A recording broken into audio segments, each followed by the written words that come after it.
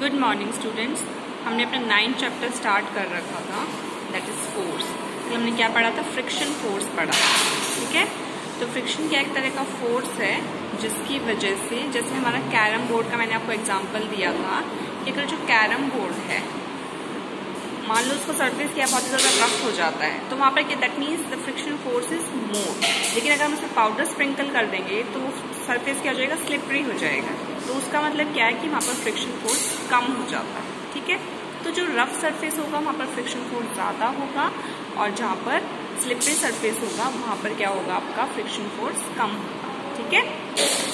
अब देखो machines can last longer with less friction friction can be reduced by using lubricants like oil and grease in machinery parts Rollers and wheels also reduce friction between the floor and the surface of the object. This makes it easy to move heavy objects. तो machines जो हैं, वो हमारे लंबे time तक काम करती हैं, खराब नहीं होती हैं जल्दी से। अगर उनमें फ्रिक्शन फोर्स क्या होगा, कम होगा, ठीक है? अब फ्रिक्शन को हम रिड्यूस कैसे करते हैं? बाय यूजिंग द लिब्रिकेंट्स जैसे ऑयल है ग्रीस है, उसको हम मशीनरी के पार्ट्स पे लगाते हैं तो फ्रिक्शन हमारा क्या हो जाता है? कम हो जाता है। अब जो, आप ये देखिए जो आपके रोड पे व्हीकल्स होते हैं, ठीक है? उनके बीच, उन पर क्या लगे हुए होते हैं आपके? व्हील्स लगे हुए होते हैं। उन व्हील्स की वजह से क्या होता है? जो रोड और जो व्हीकल होता है, उसके बीच में फ्रिक्शन फोर्स क्या हो जाता है? कम हो जाता है, ठीक है? तो उससे क्या होता है? हैवी ऑब्जेक्ट्स जो होते हैं, वो इजीली मूव कर सकते हैं। अब एडवांटेजेस क्या क्या है फ्रिक्शन फोर्स के? फ्रिक्शन जो है, उसकी वजह से जो सोल है शूज़ का और जो ग्राउंड है, वो हमें प्रिवेंट करता है स्लिप करने से, ठीक है? The grooves in the sole of the shoe helps to increase the friction तो नीचे जो छोटे छोटे डॉट्स कभी सर्कल में रेक्टेंगल में शू के सोल के नीचे जो बने हुए होते हैं, उसकी वजह से क्या होता है? फ्रिक्शन फोर्स बढ़ जाता है, जिसकी वजह से हम कभी भी फ्लोर पे स्लिप नहीं होते, क्योंकि वहाँ पर फ्रिक्शन फोर्स क्या हो जाता है? ज़्यादा हो जाता है, ठीक है? Friction allows us to write on a chalk using a piece of chalk it is not easy to write on a smooth and slippery surface friction की वजह से हम क्या है बोर्ड पे चौक से लिख सकते हैं। क्योंकि उससे क्या हो जाता है सरफेस सरफेस वहाँ पर आपका सरफेस क्या होता है स्मूथ होता है बोर्ड का। ठीक है? अगर हम रफ सरफेस पे आप चौक से क्या राइट डाउन नहीं कर पाओगे। We can hold anything because of frictional force the surfaces of our fingers are covered with fine ridge patterns these patterns increase friction so that we can grip things better अब जो हमारे fingers होते हैं, हमारे hands होते हैं उसके क्या छोटी छोटी लाइन्स बनी होती हैं, ठीक है? जिसकी वजह से हम क्या किसी भी ऑब्जेक्ट को होल्ड करना ईजी होता है। तो उससे क्या होता है? फ्रिक्शन फोर्स बढ़ जाता है हमारे हैंड के और उस ऑब्जेक्ट के बीच में।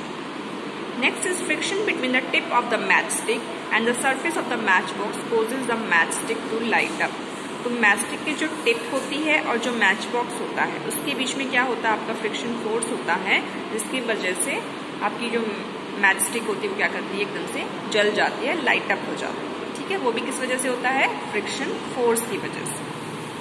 नेक्स्ट डिसएडवांटेजेस क्या क्या है? फ्रिक्शन फोर्स के। कोई भी हैवी ऑब्जेक्ट होता है फ्रिक्शन ज़्यादा होता है तो उस ऑब्जेक्ट को मूव करना हमारे लिए क्या होता है? बहुत ही ज़्यादा डिफ़िकल्ट होता है। दूसरा क्या है? फ्रिक्शन की वजह से आपके टायर क्या होते हैं? जैसे कहीं पर आप रोड देखो, खराब होगा तो वहाँ पे क्या होगा? आपके टायर जल्दी खराब हो जाते हैं। बार बार आप उसी चीज़ पे टायर आपके रब होंगे। रोड जो आपका स्मूथ होगा तो आपके टायर्स की लाइफ क्या हो जाती है? बढ़ जाती है। ठीक है? तो यहाँ पे क्या आपके टायर्स डैमेज हो जाते हैं due to more friction the soles of our shoes and make these objects wear away with time friction ज़्यादा होगा तो आपके टायर्स क्या हो जाते हैं? खराब हो जाते हैं जल्दी से।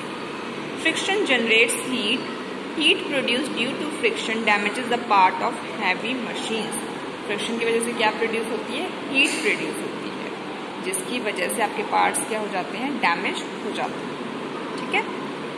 एक वन आउट टायर देखो, हम यहाँ पे दो टायर्स दिए हुए हैं। एक न्यू टायर है, दूसरा क्या है? जो टायर फ्रिक्शन ज़्यादा फ्रिक्शन की वजह से क्या हो गया? यहाँ पे घिस गया है। ठीक है?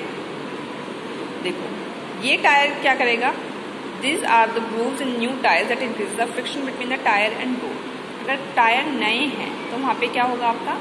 फ्रिक्शन ज़्यादा होगा। और आप अच्छे से रोड पे आपका व्हीकल चलेगा। लेकिन अगर आपके टायर्स के जो ग्रूव्स हैं, वो ख़त्म हो जाएँगे। ज़्यादा फ्रिक्शन की वजह से ख़त्म होते हैं। ठीक है? बार बार उस चीज़ पे रगड़ लगेगी। आप देखो किसी जिसको बार बार ज़्यादा रफ सर्फेस पे आप चलाओगे तो वहाँ पे क्या हो जाएगा? वो खराब हो जाएगा। तो ग्रूव्स आप खत्म हो जाएँगे। वहाँ पे क्या हो जाएगा? आपका सरफेस क्या हो जाएगा? स्मूथ हो जाएगा। रोड और टायर के बीच में स्मूथ सरफेस मिल जाएगा, जिसकी वजह से आपका व्हीकल क्या है? स्लिप कर सकता है। तभी हम अपनी जो गाड़ी होती है बाइक होती है, उनके टायर्स क्या है टाइम के साथ चेंज करते रहते हैं, ताकि वहाँ पर हमारा फ्रिक्शन फोर्स ज़्यादा बना ठीक है? और हमारा व्हीकल जो है वो अच्छे से रोड पे चल सके। नेक्स्ट इज़ बॉयंट फोर्स और बॉयंसी अब जो आपको देखो, दो ग्लासेस हैं, इसमें ऑरेंज को पील करके डाला गया और इसको ऑरेंज इसमें ऑरेंज को बिना पील तो जिसको पील नहीं किया गया, वो क्या फ्लॉट कर रहा है? और दूसरा क्या है? आपका सिंक कर गया, डूब गया। ठीक है? क्यों? क्योंकि जो यहाँ पे इस पे पील हुआ है ऑरेंज का उस पर क्या होता है एयर पॉकेट्स होते हैं। ठीक है? जिसकी वजह से ये आपका फ्लॉट करता है। ठीक है? जो आपका अब किसी भी ऑब्जेक्ट को हम पानी में डालेंगे, या तो फ्लॉट करेगा या सिंक करेगा। जो पानी होता है, वो भी क्या है, एक फोर्स लगाता है ऑब्जेक्ट के ऊपर। वही फोर्स आपका क्या होता है? बॉयंट फोर्स होता है। ठीक है? ऑब्जेक्ट का नहीं, जो फोर्स वाटर ने लगाया, उस ऑब्जेक्ट पे this force is the buoyant force और द बॉयंसी ठीक है? The object also applies a force on water surface due to is mass अब जो ऑब्जेक्ट है, वो भी आपका क्या करेगा? उस सरफेस उस वाटर सर्फेस पे फोर्स अप्लाई करेगा। ठीक है? Next is If the upward force applied by the water on the object is more than the force of the mass of the object on water, जो water ने force apply किया और जो एक दो force हैं एक water apply कर एक object तो जो फोर्स वाटर ने लगाया अगर वो ज़्यादा है तो आपका ऑब्जेक्ट क्या करेगा? फ्लॉट करेगा। लेकिन यदि आपका ऑब्जेक्ट का फोर्स क्या है? ज़्यादा है as compare to the force of water तो आपका ऑब्जेक्ट क्या करेगा? सिंक करेगा। ठीक है? अब आर्ग्यूमेंट्स ने कॉन्सेप्ट दिया फ्लोटेशन ऑफ़ ऑब्जेक्ट का according to this concept the buoyant force equal to the weight of the water displaced by the object this statement is called the Archimedes principle Archimedes ने क्या कहा है? जो buoyant force है, वो किसके equal होता है? Weight of the water displace by the object जो ऑब्जेक्ट ने जो वाटर को हटाया, ठीक है? डिस्प्लेस किया, उस वेट के बराबर क्या होता है? आपका बॉयंट फोर्स होता तो स्टूडेंट्स आज के लिए इतना ही बाकी कल कंटिन्यू करेंगे।